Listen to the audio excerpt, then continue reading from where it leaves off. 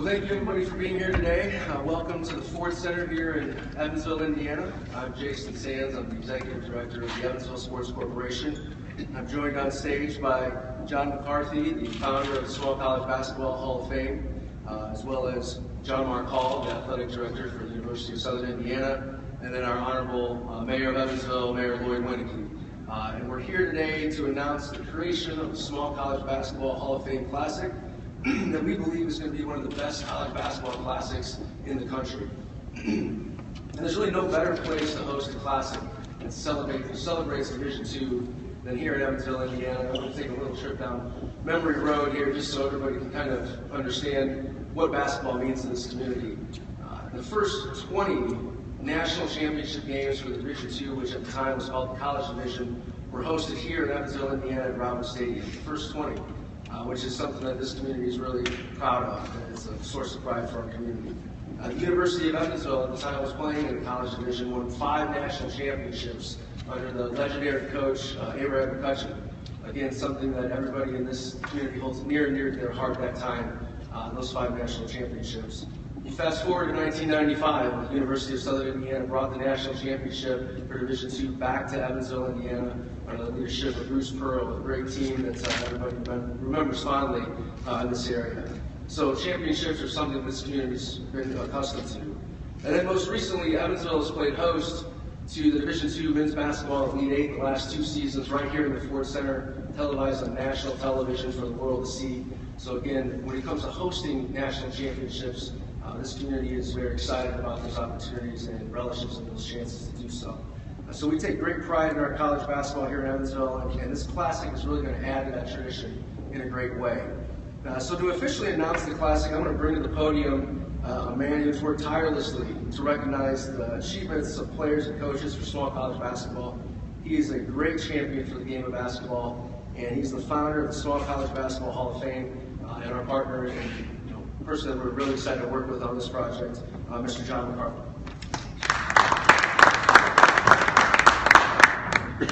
Thanks so much, Jason. It's, uh, it's been a long time coming. Uh, my name is John McCarthy. As Jason mentioned, I'm the founder of Small College Basketball in America. And it gives me great pleasure today to announce the creation of the Small College Basketball Hall of Fame and the Small College Basketball Hall of Fame Classic. I'd like to specifically thank Jason Sands as the Executive Director of the Evansville Sports Corporation, along with Jon Mark Hall from the University of Southern Indiana, and of course all the good folks here at the Ford Center for helping to bring this dream and this vision to reality, to bring it to life. The inaugural Hall of Fame induction ceremony will take place right here in the Ford Center this coming November, November 17th, Thursday evening, right here at the Ford Center. The following two days, on the 18th and 19th of November, on Friday and Saturday, we will hold the Hall of Fame Classic, again, right here in the Ford Center. We will follow with the details about the Classic.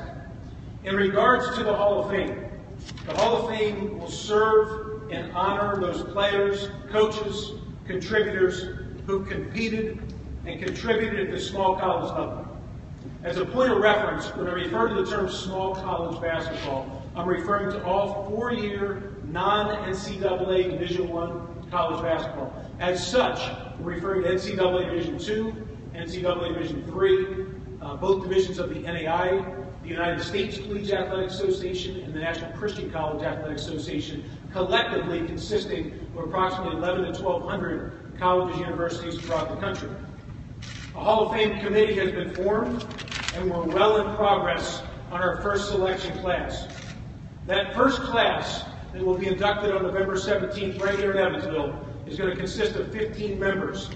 Classes afterwards will consist of 8 to 12 members going forward. We will announce that inaugural class this coming June to be inducted on November 17th. There's a few important guidelines I'd like to share with you in regards to the committee selection of the Hall of Fame class. First of all, there's going to be three categories player, coach, and contributor. Each induction class will have a minimum of one person from each class. Players must be at least five years removed from their playing careers at the collegiate level and coaches must be at least three years removed from coaching. There is no such related timetable for contributors. There's, uh, let's see, there's no specific criteria in particular to the inductions for the players themselves, coaches, or contributors. All of those candidates will be evaluated individually by our committee. Our committee has already looked at literally hundreds of potential candidates, so you're aware we're in the process today, is actually a due date, of narrowing from 50 to 25 to eventually get that class of 15.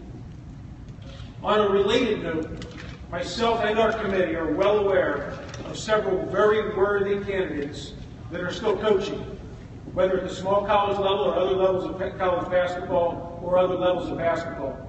Again, coaches must be removed a minimum of three years from their collegiate coaching career or coaching career. The intent of the Hall of Fame is to hold a first-class ceremony annually to honor those Hall of Fame inductees. The ceremony, as mentioned, will be right here in Evansville, and there's no plans at this point or intentions of building a physical structure, but we will rather build a component within the Small College Basketball website, which is smallcollegebasketball.com, which will host the bios, the photos, the videos of those prestigious coaches, players, and contributors. If you'd like to submit names of people that may be uh, considered for our Hall of Fame, you may please send that to scbhof, as in Small College Basketball Hall of Fame, at gmail.com. That's scbhof at gmail.com. A full listing of our Hall of Fame committee can be found on our website at smallcollegebasketball.com. I'd like to note and sincerely thank each member of our Hall of Fame committee. Today with us here is Roy Pickerel from Kentucky Wesleyan, longtime sports information director and coordinator of media for the Division II Elite Eight, is a member of our uh, committee as well. Every single member is highly prestigious and highly knowledgeable of collegiate basketball at the small college level, having different backgrounds in different parts of the country at different levels within small college basketball. And I'm truly honored to be surrounded by such wonderful people. This is a real labor of love, myself and our committee. And I truly thank each of them for their time and commitment to small college basketball and to our Hall of Fame. Ladies and gentlemen, I sincerely thank you for being here today. I sincerely thank all of those people, the people at the table, all of you, our committee, those sponsors who helped make this dream become a reality. It's hard to tell you how long we're waiting here to be here. It's not days or weeks or months. It's literally been years in the planning to get to this point today. There's much to be done, but this is a real thrill and honor to be here today. We're here specifically in Evansville because these people, Jon Mark Hall, Jason Sands, believed in a vision. They believed in a dream. And like I said, it's a real honor and a pleasure. But we're here because of them, because they believed in this dream. And it's truly, for this I'm truly honored and grateful. Today, the fulfillment of the dream begins. I'd like to turn it back over to Jason Sands, who's going to fill in a lot of the exciting details, and I think you'll be very pleased and excited about the details of the Hall of Fame Classic. Thank you so much.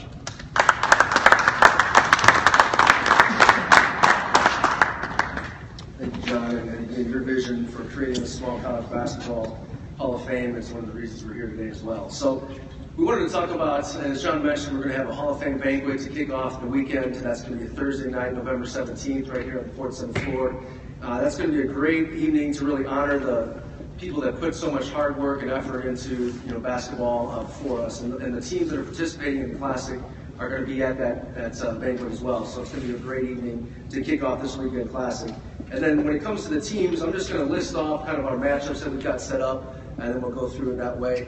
Um, Friday night, we'll start, we don't have the times exactly picked yet. It's going to be late afternoon, early evening uh, to start these games on Friday night. Uh, we'll have, the first game is going to be University of Alabama Huntsville Chargers. It's a great program led by Lennie Acuff, their coach. So we're excited to have them in the tournament. They're going to be facing off against the Bellarmine University Knights, who are participating in the tournament. They're led by Coach Scott Davenport. They're currently ranked number 13 in the country and they're consistently, as you know, one of the best uh, teams in the country year in and year out. So we're really excited to have them. They actually participated in the Elite Eights uh, here at the Ford Center just this past year, and they did a fantastic job. So that's the first game. Our next game is going to feature Lincoln Memorial University, led by Coach Josh Schertz. Uh, Lincoln Memorial has one of the best records over the course of the last 10 years of any school in Division II uh, over that decade, and they're currently ranked number four in the country. So they always compete at a high level, and we're really excited to have them involved in the Classic. And they're going to be facing off against Kentucky Wesleyan College. And I don't have to say tell anybody about the great history at Kentucky Wesleyan, eight national championships, one of the true staples of Division II basketball. They'll be participating. We're very excited to have them. They're led by Coach Happy Osborne. And then we've also got their athletic director, Rob Mallory, in the crowd today. Uh, he'll be available for uh, questions after the press conference, as well as their sports information director, Roy Pickerel, who's been instrumental in events here at the Ford Center. He helped us run the last two Elite Eights here, as well as the GLVC tournament, a legend in the industry. Uh, so again, we're very happy and thankful to have Kentucky Wesleyan participating in this tournament. And then the nightcap is going to be Florida Southern Moccasins. They're the defending national champions. They won their championship here at the Ford Center just this last March. They're coming back to the Ford Center to participate in this inaugural classic, and they're going to be facing off against our hometown University of Southern Indiana, uh, the Eagles, and are led by Coach Rodney Watson. And he is also here. Thank you very much for being here, Coach. He'll be available for questions afterwards as well. So we've got a fantastic lineup of teams, a great kickoff on Friday night with some good matchups, uh, along with the Hall of Fame festivities. It's going to be a great Thursday and Friday. And then we come back on Saturday, same time frame, uh, the 19th. We'll have the University of Alabama Huntsville against Lincoln Memorial, that first game on Saturday night. And then the next game, we'll have a rematch of the semifinal game here at the Elite Eight in 2015, Bellarmine against Florida Southern. So a game that, if you were here, was one of the most electric college basketball games that entire season, D1 or beyond.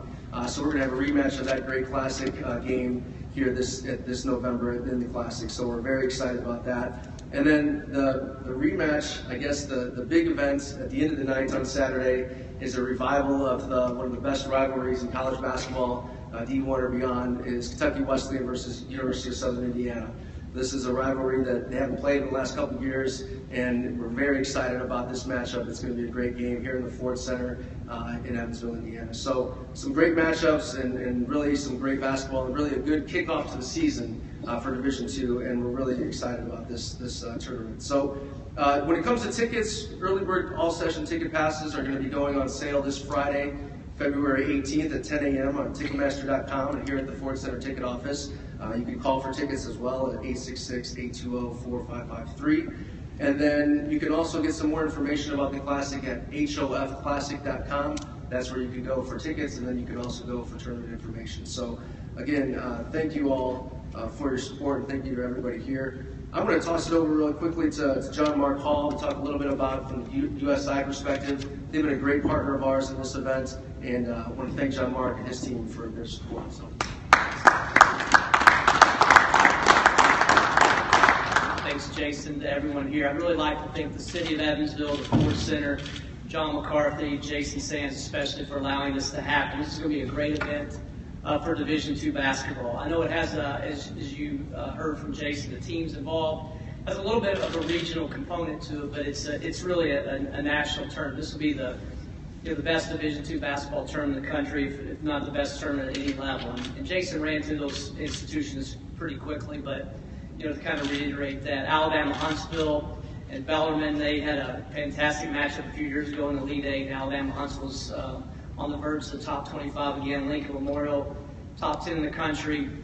We know about uh, uh, Bellarmine and USI and Kentucky Wesleyan and Florida Southern obviously won the championship here. And, and we're thrilled. I don't know if Coach Watson's thrilled about the field, but uh, he's going to have a couple of tough games on uh, that Friday and Saturday. Joking aside, I know it's, it's very tough for our coaches to schedule um, a, a, tournament of this magnitude. And I think, again, the city and the Ford Center have now allowed us to do that. And again, I, it's going to be six outstanding basketball games, uh, six outstanding programs, and we're thrilled to, to be a part of it and, and help make this happen. Um, again, it, it, doesn't happen without the support again of all those folks, and uh, special thanks to Jason Sands. Jason's done so much for this community and. Uh, and, and, so much for Division II athletics uh, here with, uh, with the partnership with the University of Southern Indiana. So I really like to thank him again. Exciting times. Um, we still we still have a lot of basketball left this year, uh, but we're, we're really excited about this tournament. It's kind of it'll be the second weekend of the season, so everybody will probably have a couple games under their belt. Again, thanks to everyone involved. Uh, Rob Mallory again from Kentucky Wesleyan, his um, his vision in this tournament too, and, and renewing all our rivalry here at the Ford Center. And we appreciate having him here today. But uh, again, thanks for being here. I'll, I'll have it back off to Jason.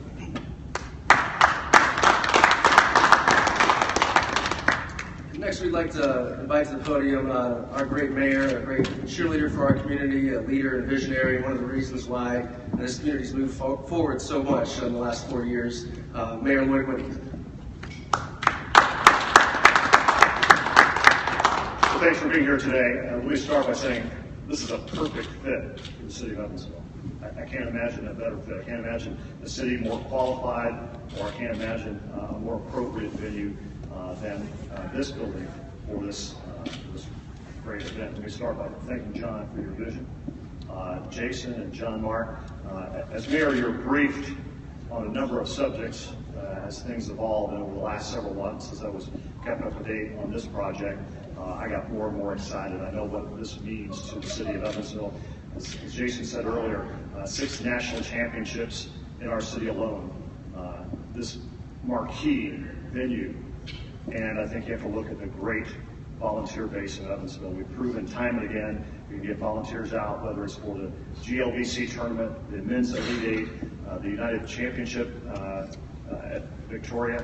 We have a great volunteer base and a great corporate base provides the wonderful sponsorships that, that are required to pull something like this off. So on behalf of the city of Evansville, we welcome this opportunity. I think it's one that our citizens will embrace, and uh, I can't wait.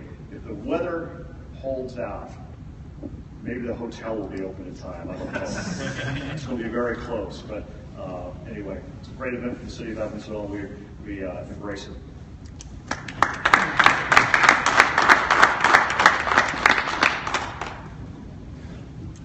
Okay, and, and that should wrap everything up. Before we get closed up here, I would like to thank a couple people here, uh, starting with the Ford Center and, and Scott Schoenicke and his team here. They've done a fantastic job. They're, they're the best pros in the business, and uh, we wouldn't be able to host these events without their support and, and their leadership and in working with us. Uh, obviously, the University of Southern Indiana has been a fantastic partner in, in hosting the GLVC tournaments, the Elite Eights, and now this tournament. Uh, Jon Mark and his team is unbelievable, and uh, they've done so much for the city, so we're really glad to be partners with them.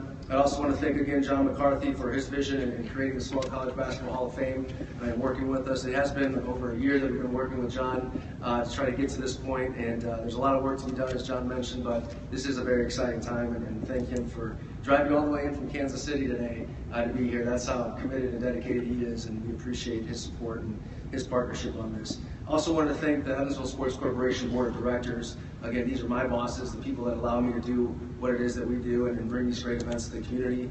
We've got some members here in the crowd today. We have Mike Blake, Kurt Molander, Larry Berman, Scott Schoenicke, and, and Scott uh, Schreiber. So again, thank you very much for your support and allowing us to bring these great events to the community. And then again, to our participating teams. I mean, that's that's truly where the meat and potatoes is with this event. And we appreciate them committing to this event, uh, you know, sharing in our vision and their excitement. And Rob and Roy from Kentucky Wesleyan, we're really excited about this tournament. We appreciate you being a part of it, and we're going to do our best to put on a great event. So again, thank you all for coming and covering this, and we'll have some availability from the coach uh, and, and Rob and anybody else that you'd like to talk to um, after this press conference. So again, thank you very much.